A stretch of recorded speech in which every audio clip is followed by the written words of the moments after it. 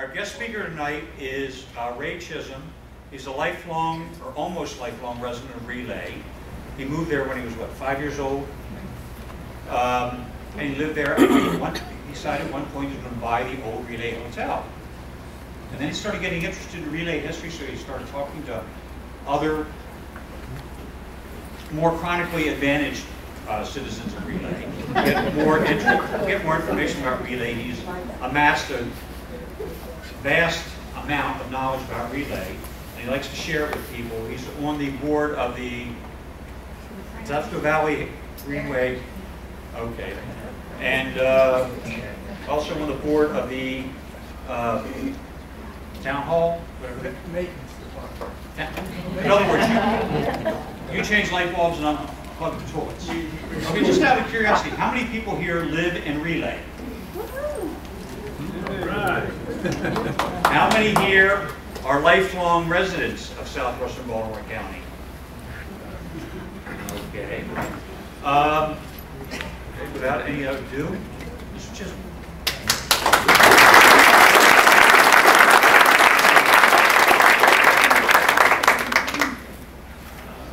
Bill, is this the one? Yep.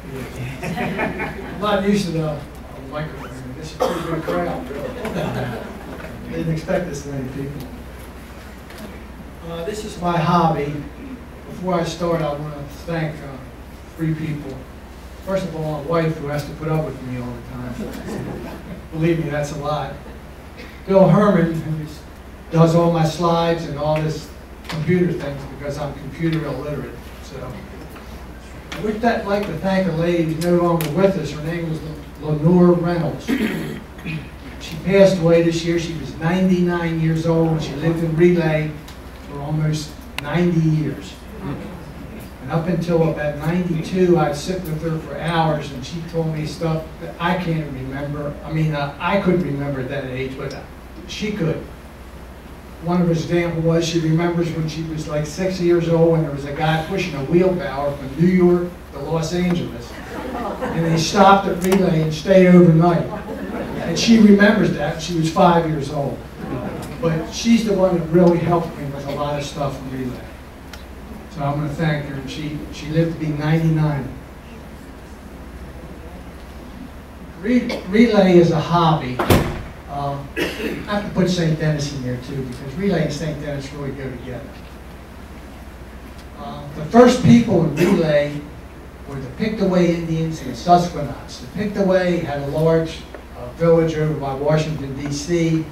They used this area as a hunting ground. That time, the Patapsco River was 500 feet wide. If you can, you can't even believe that, and 20 feet deep at, at uh. The Susquehanna Indians were kind of uh, more like they come down and they fought, fought, but by 1700, between the disease, white and white men, and fighting each other, there was no more Indians left in this area.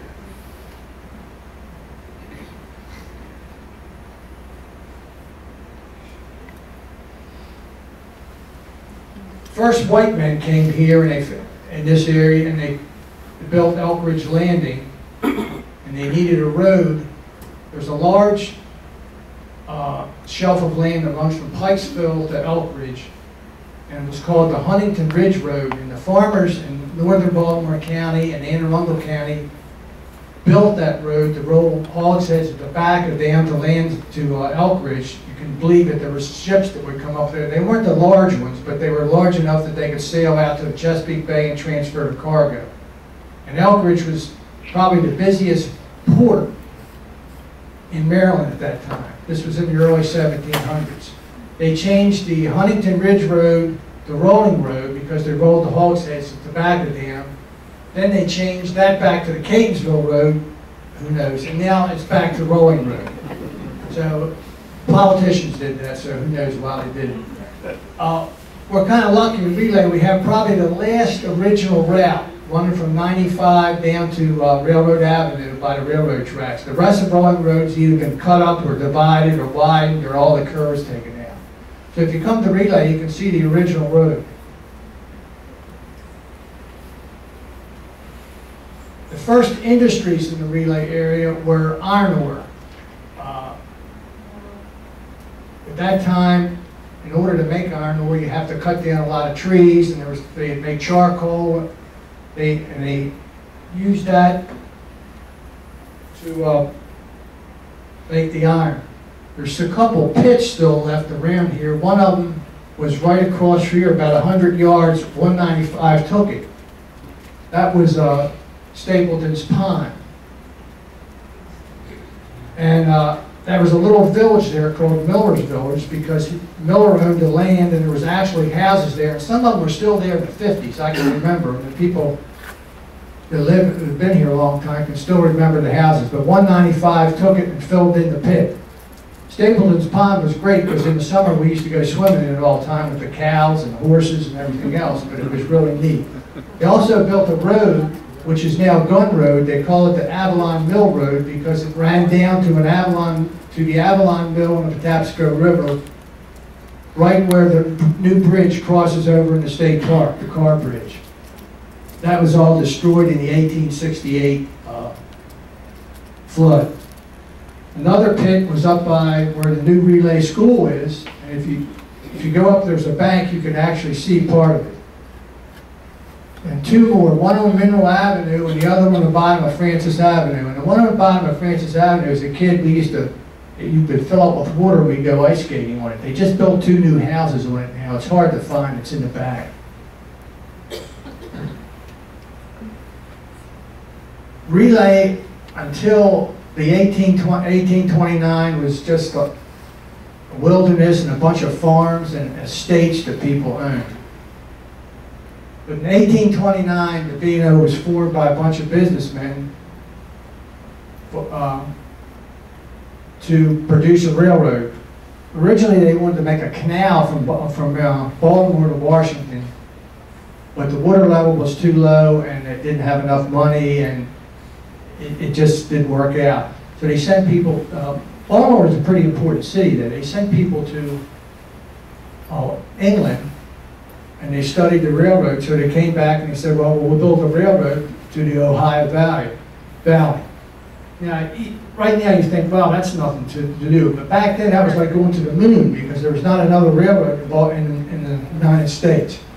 Nobody knew any, what, what to do or how, how to make the, uh, the trains, the tracks, or anything. So it was a real big doing. So, so in 1829, they started to build the railroad. Now, from, they, they wanted to go 13 miles to Ellicott Mills, but they did survey another route that would have been north along the Jones Falls Expressway, but one of the Ellicotts was on the board of directors for the B and O, so, and then the railroad went to Ellicott City. So they didn't, they didn't know to make cross ties.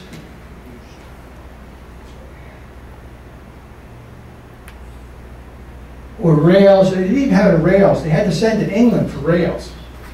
So that, you know, they, they, they didn't have a grade, it was than, the uh, contractors didn't, it, it was a really a major undertaking, but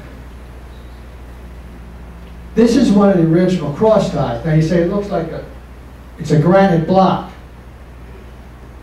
Well, they thought it would be a lot sturdier than wood, but it was much too expensive because you had to chisel all this, all this out and, and lay the blocks down and then nail, nail wooden stringers across here and nail the rails on top of it. And it was strap rail. Was probably two inches thick with holes in it. But it was so expensive they stopped it, so they only, they used wooden ones from where the present Relay Hotel is, back to Camden Yards, and they used the, these stone ones all the way to Ellicott Mills. And when he had the big fl- flood and the hurricane, a lot of these got exposed. Now, these two are in my yard, because when I had to put a septic system in in the front yard, I'll show you a little later, I found them. So in 1830, the first train left Camden Yards. Now, it was horse-drawn, they didn't have steam that way. And the horse could only go six and a half miles before he changed, he'd have to be, ch- change another relay, and then it would go another six and a half miles to Ellicott City, turn around and come back again. So a man named Dennis Smith, who St. Dennis was named after, was a local politician, and he found out where they were gonna change horses at, so he quickly bought the land. He was in the know. And he built a roadhouse and tavern there. He figured, well, if they're changing horses, then I can really fleece the people when they're trying to get the, uh. And then he contacted the railroad and said, I'll open a room and you can sell tickets here too, if I a- you know, get a percentage or something.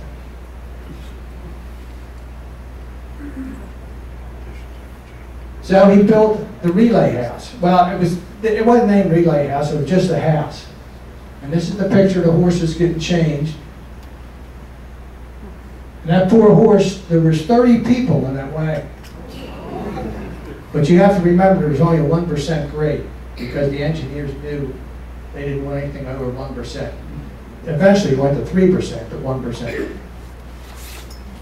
So the first, the first, it was 75 cents round trip, which was a lot of money because some people were making $2 a week.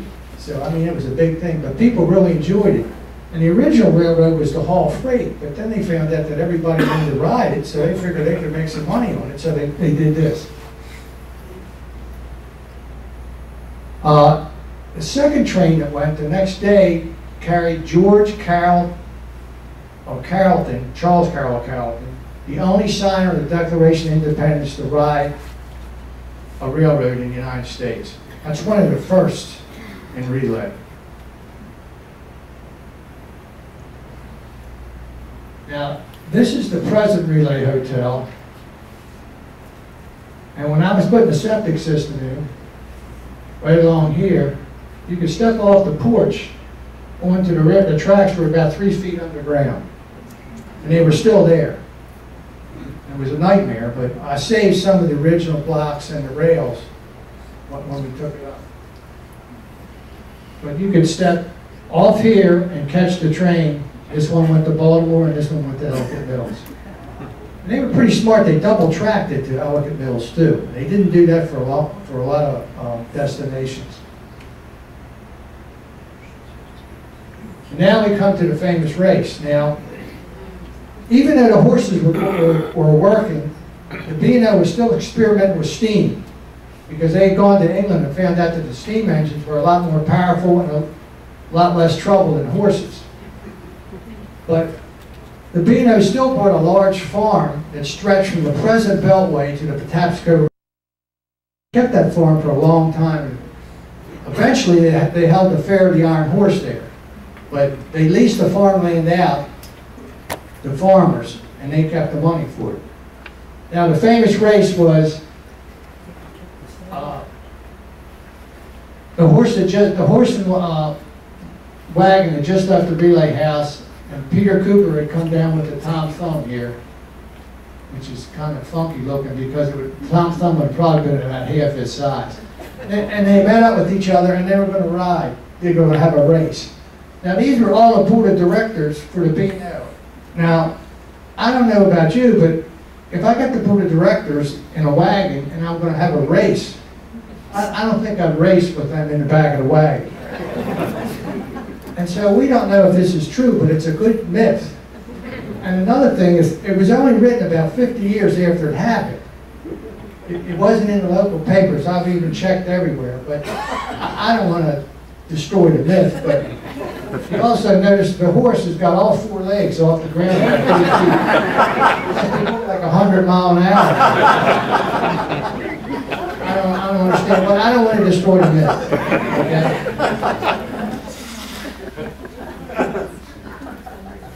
Now, this is the re, this is the original relay house. Uh, it, it had. Oh, I'm sorry. let me go back here.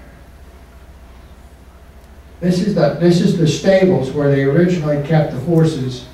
They brought the horses were like where the Calvert Distillery. Well, you all some of you know where the Calvert Distillery used to be. Well, that was where they kept the horses. They brought them over here, but it didn't last very long. By 1836, they didn't have any horses anymore. So, I, I guess this is an apartment house. Uh, here's the station right here. and the boardwalk where you stepped out. This is what it looks like today. Now, well, there was a big fire in 1898, and it- it burned a lot of the building down. When I moved in, part of the, this was here, but I had to tear it down because it collapsed. Uh, uh, This is the back wall of the stables. It's a garden right now. And the garage is here, but I did save the original wall.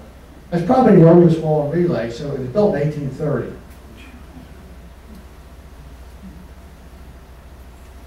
By, even when they pointed to, uh, um, Mills, the local politicians wanted to build a line to Washington because they knew all the money was there. So they'd even surveyed that while they were still using the horses. So in 1833, they decided to go and they had to build the famous Thomas Viaduct. And this painting was painted by Mr. Latrobe, who actually built it. Now you'll notice how high these things are. And they were pretty high, but right now it's probably here because the river silted in that much. Not even more than that. I mean, some of these you can't even see them. But it was quite a feat. And this guy wasn't an engineer, he was a surveyor. He'd never built anything in his life. Now, his father was a famous architect who, who built a lot of buildings in Washington. So he started out to build it, and everybody thought he was a nut because it was a curved bridge, curved arc bridge. And they said it would fall under its own weight. Well, everything went along fine until they had to start to build these piers in the river. And they had to build what you call coffer dams, and what you do is you drive boards down in the ground in a circle, and then you get some guys some nuts to grow down inside and dig all the dirt out of there while down to bedrock. They didn't have any power machines, so they had to hire people. Now, if you live in Relay, and if you've dug two feet down, you'll find out that the clay is so bad that it sucks the end of your shovel off. When I was putting the septic system in, it almost ruined the backhoe. That's how bad it was. Well, it was really bad for these guys working. It- it- The river uh, flooded, it collapsed. There was even, I read an article where Mr. Latrobe himself was down in there trying to dig it out. But they finally did it, and they got, they got the piers done. It took them three years to build it. It, it, at that time, it was the largest public service building project in the United States and the largest bridge being built. Uh, It cost a grand total of two hundred thousand dollars to build it.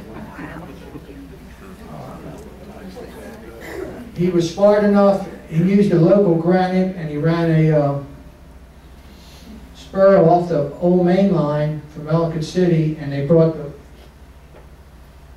he built the scaffold on here and he brought the blocks out and put them down. And uh, Mr. Dilts has made a really good CD, the Greenway Corporation has it, of how to build the Thomas Viaduct and it's really, it's really neat how they did it. Well, when they got it done, nobody would drive across it. You know, they brought the grasshopper engine out that weighed two and a half tons. And they bribed a guy, and just the engine went across. Now, one engine weighs six and a half tons now, and it, and a coal train is the heaviest object on earth moving, and they park on this bridge sometimes. Another time when hurricane, the hurricane came, I remember every one of these arches, the water was to the top. And a tractor trailer floated down on the other side from Ellicott City, hit the bottom and came on, up on the other side. And it didn't budge. Unfortunately, uh, other things are destroying the bridge now, but that didn't do it. Mr. Latrobe was never well after he built this bridge. It almost killed him. Uh, he did go back to work for the B and O, but it cut his life really short because it was a monumental undertaking. And it's still the longest curved arch stone railroad bridge in the world. I mean, there's nothing else like it. I was talking to a B and O engineer one time, or I'm sorry, CSX. Hope that there's nobody here at CSX. And he, I said, well, why don't you all do a little help on it? He said, well, we, if we did, if we restored this bridge, we'd have to fix all the rest of the bridges up. We have, we have six thousand bridges. I said, but there's, is there, Do you have another bridge like this? Oh, no, this is the only one in the world. I said, well, don't you think that would help? Well, we just, we don't, we don't have the money.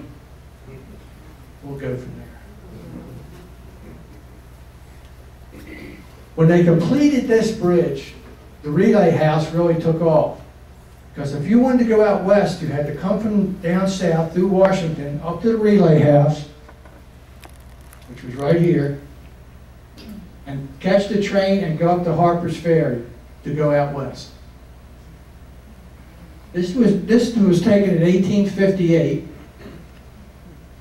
Relay was the, Relay House was the second busiest passenger station on the B&O's line. The only Camden Station in Baltimore was busy. So uh, it was it was a big deal. And you wonder, you think to yourself, well, why did they keep the relay house when they got rid of the horses? Well, here's the reason: water. Steam engines need a lot of water. And behind the house is a large cistern there. It was 15 feet deep and 30 feet wide. When I moved there, I had to fill it in because it had collapsed, but I did save a lot of bricks to make the fireplaces. But they used these waters, this water filling thing until 1930. So it still was a really important thing. Now we get to the famous people. John Quincy Adams in 1830, this is, this is I'm going back a little bit. He wasn't vice, he wasn't president, he was a senator senator. So in that time, the senators didn't stay in Washington. It was only a part-time job. It's not like now it's a full-time job and they still don't do anything. But when, him and his wife decided they were going to come to Washington, well, she's not coming on the railroad because it's dangerous. It, it's only 13 miles long, but it's dangerous. So she goes by stagecoach and steamboat. He says, "Well, I'm going to take, I'm going to track out the railroad. We, we probably paid for it, but so he came to Baltimore and he put his carriage on a, on a flat car and he rode out to the relay house and then he took the flat the carriage off and then he went to Washington on a, on a turnpike. It probably took him another day to get to Washington. That was the first piggyback train in the United States. So another first.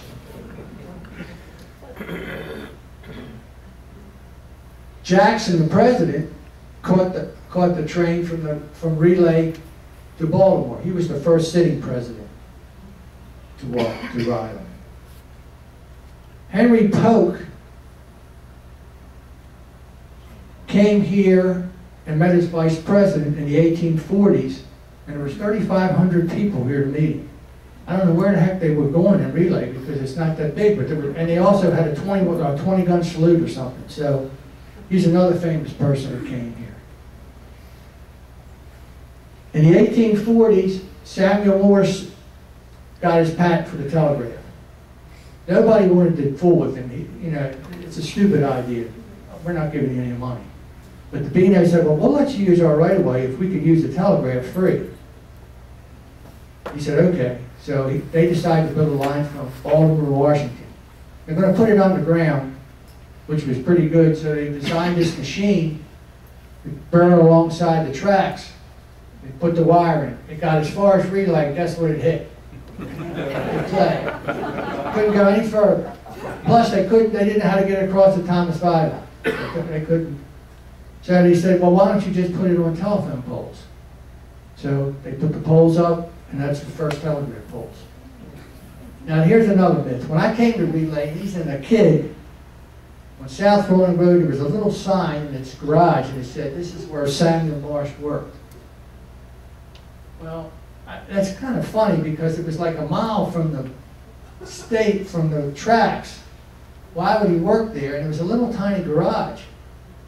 So I, I got four or five books and read and read, got some more books and read and read. Samuel Morse was so bankrupt, he had to stay in Washington all the time to try to get money out of Congress to keep the job going. Now, maybe one of his supervisors might have done there, stayed there, but there was a sign I can remember. Samuel Morse worked on a telegraph. So if some of you remember seeing that sign, I don't think that was right either, but. Here's another shot of the relay house. This is the second relay station. The first one was here where you went inside and got the tickets. The second one was this little shed here. So you got tickets. But you gotta remember, this is an experiment now. People really didn't know what they were doing. But it was really busy. There was something like 35 trains a day were coming through here. That's a lot of trains. This is the second, this is the second station that was built across from the present Relay Hotel. This is when it was really busy. I've done, done some research. This lady is Aunt Julia Weaver. She used to sell peanuts and fried chicken to the people on the trains and made a hell of a living. This man here was named Mr. Hauser. He was station manager for 47 years. That's incredible because nobody works 47 years for one company so. But these are the two lines going to uh, Ellicott City, and this is the only they only had one line going to Washington before the Civil War.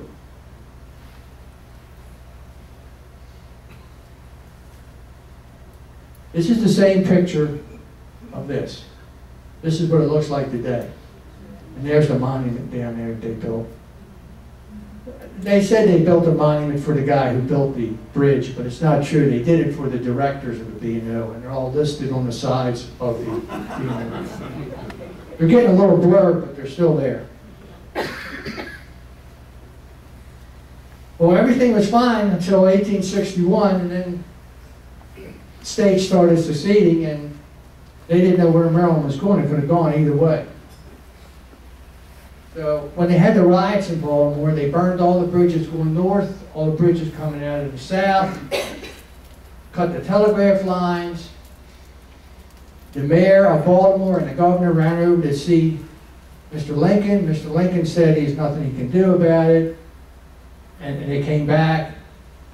Actually, Washington was cut off. He sat down with his uh, military advisors and they said, look, here's, Virginia's getting ready to secede. Maryland's going, getting ready to too. We're trapped. We don't have any roads going here. The only thing we have is this little railroads going to Baltimore, and they just had a ride. But here, what's this little place called Relay? And he said, well, that's the terminus of the two, th two uh, rail lines. The old main line goes out west, this one goes down south. Well, we've got to capture that or take care of it. They had no troops in, in uh, Washington politics again. So they went up north and they got Mr. Butler, General Butler, but he was actually a politician. He made himself a general. and he got all his troops.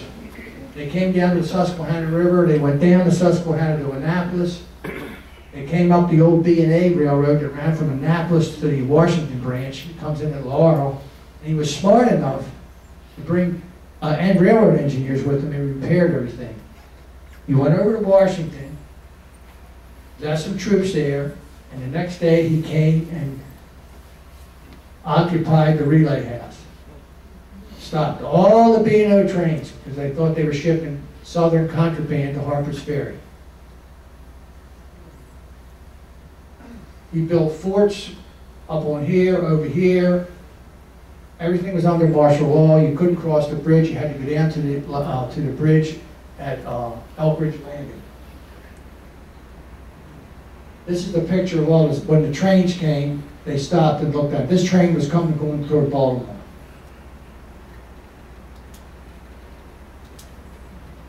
Well, if you read about history about General Butler, he was really a terrible general after this. I mean, he did a lot of bad things in New Orleans. He offended a lot of people, but in my opinion, he was a pretty smart